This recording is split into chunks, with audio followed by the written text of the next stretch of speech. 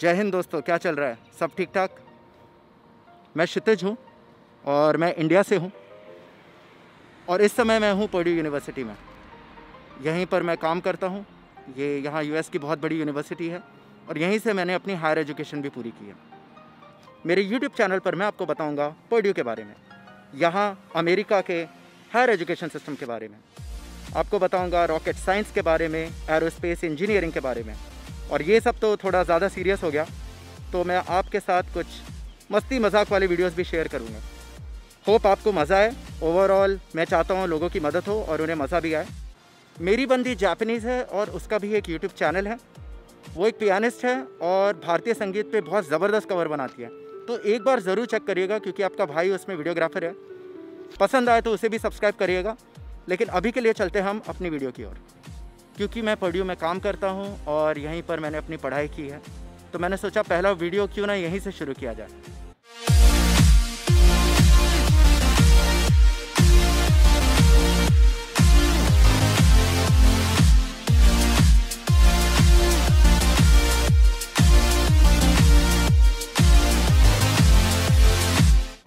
Purdue को कहा जाता है ट्रेडल ऑफ़ एस्ट्रोनॉट्स क्योंकि यहाँ से 25 एस्ट्रोनॉट्स पढ़े भी हैं और स्पेस में भी गए हैं।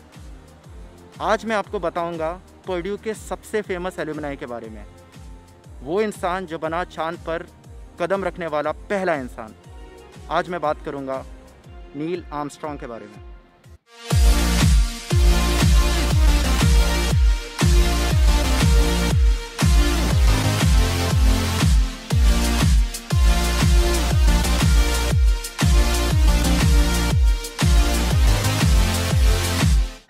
शुरू करते हैं 1947 से।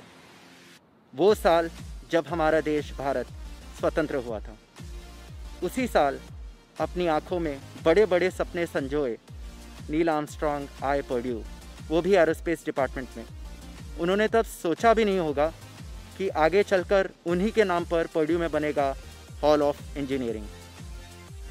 छः साल की छोटी सी आयु में ही इन्होंने प्लेन्स उड़ाना शुरू कर दिया था।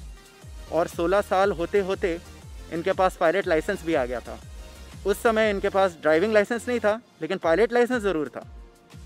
पर आर्मस्ट्रॉन्ग ने पर्ड्यू ही की चुना।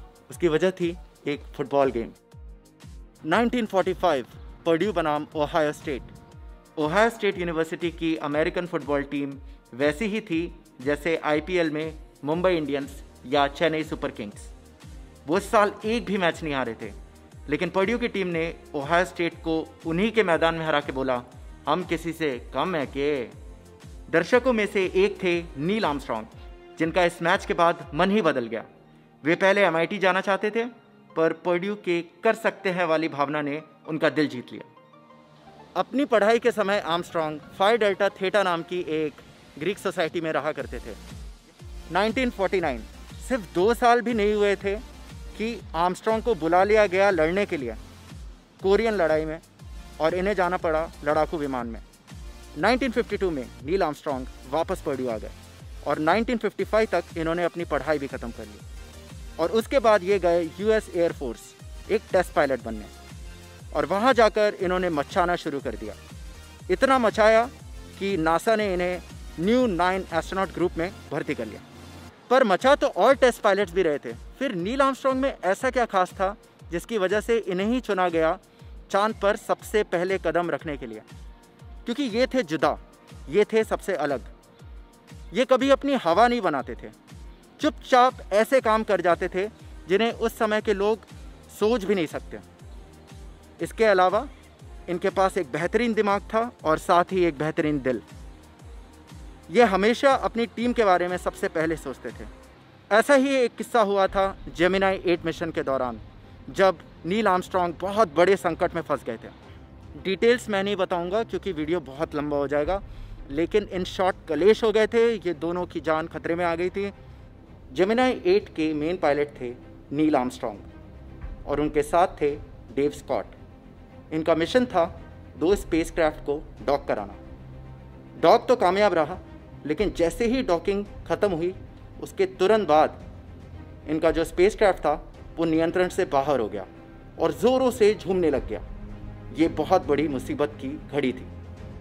ये दोनों बस मरने ही वाले थे कि नील आर्मस्ट्रॉन्ग ने स्थिति को नियंत्रण में ला दिया। उन्होंने अपनी सूझबूझ से ना सिर्फ़ इन दोनों की जान बचाई, लेकिन ये मिशन को फेल होने से भी बचा लिया। डेव स्कॉट जब वापस नासा आए तो उन्होंने नासा वालों को बताया कि इतनी मुसीबत वाली सिचुएशन में भी इनकी आँखों में ना डर था, ना माथे पे चिंता। ऐसे थे ये बाहुबली, नील आर्मस्ट्रॉन्ग ऐसा एक और कलेश हुआ जिसमें आर्मस्ट्रॉन्ग मरते मरते बचे। चाँद पे अपोलो 11 में जाने से पहले आर्मस्ट्रॉन्ग एक लूनर लैंडर में अभ्यास कर ही रहे थे कि वे उस लूनर लैंडर पर से पूरा नियंत्रण खो दिए। उन्होंने समय पे उस लूनर लैंडर से इजेक्ट कर दिया और वो पैराशूट से एक सुरक्षित दूरी पर आ गिरे जबकि लूनर लैंडर एकदम ध्वस्त हो गया और आग के गोले में परिवर्तित हो गया। इस हादसे में सिर्फ़ उनकी जीप थोड़ी सी कट गई और वो कुछ ही देरी में अपने ऑफ़िस पर वापस रिपोर्टिंग करने पहुँच गए। जुलाई 16, 1969 को नील आर्मस्ट्रॉन्ग बस ऑल्ड्रेन और माइकल कॉलिंस निकल पड़े जॉन एफ़ कैनेडी का वो सपना सच करने।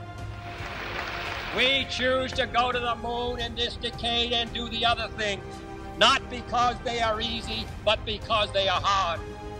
और चार दिन बाद ये हुआ I'm going to step off the limb. It's one small step for man,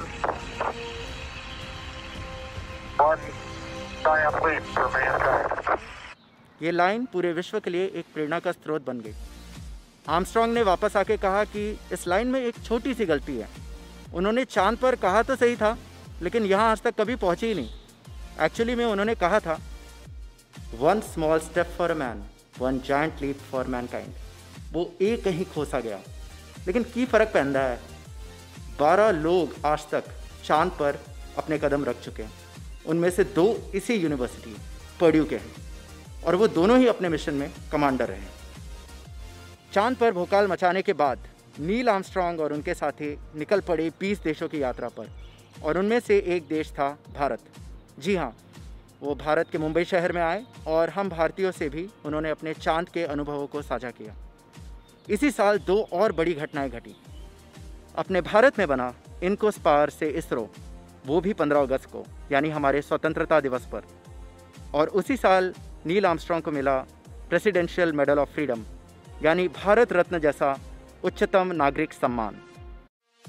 1970 में पर्ड्यू ने दी नील आर्मस्ट्रॉन्ग को एक ऑनररी डॉक्टरेट और बन गए ये डॉक्टर आर्मस्ट्रॉन्ग तो जो भी लोग पर्ड्यू में यूएस में या दुनिया में कहीं भी डॉक्टरेट पाना चाहते हैं तो या तो वो पीएचडी कर ले चार पाँच साल की, या फिर वो नील आर्मस्ट्रॉन्ग की तरह ऐसा काम करे कि अपनी फ़ील्ड में बेस्ट ऑफ़ द बेस्ट निकले, ताकि लोग आपको खुद से आके डॉक्टरेट दें। तो इनके जीवन से हमें यही प्रेरणा और यही उम्मीद मिलती है कि कुछ भी पॉसिबल है।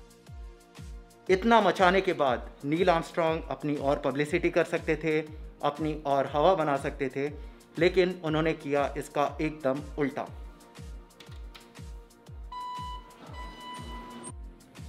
इन्होंने 1971 में नासा से दे दिया अपना इस्तीफ़ा और बन गए यूनिवर्सिटी ऑफ़ सिंसिनाटी में एक प्रोफेसर और वहाँ के स्टूडेंट्स की हो गई मौज ही मौज।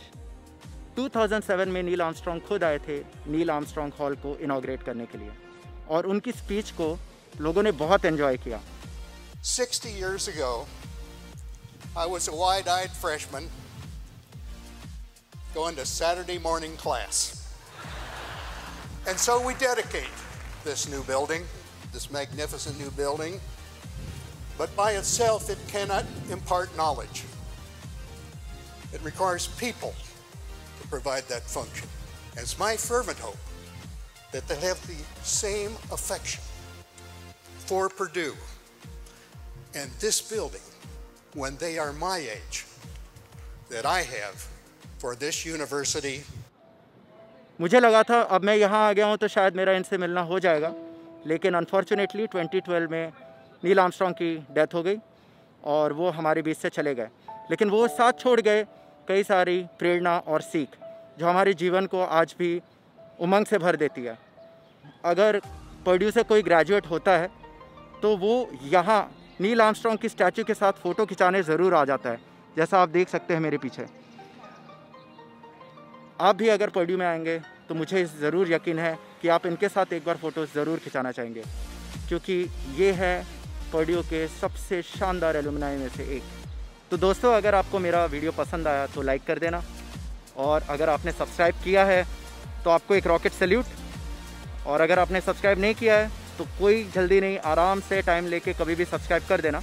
इसके जितने भी एरियल शॉट्स हैं, वैभव दा ने लिए हैं, जो कि फ्रॉस्ट बाइट प्रोडक्शंस से रिलेटेड हैं तो वैभव दा उधर है। उनका भी चैनल है फ्रॉस्ट बाइट प्रोडक्शन और वो रही चिड़िया जिसने पूरे शॉट्स लिए हैं।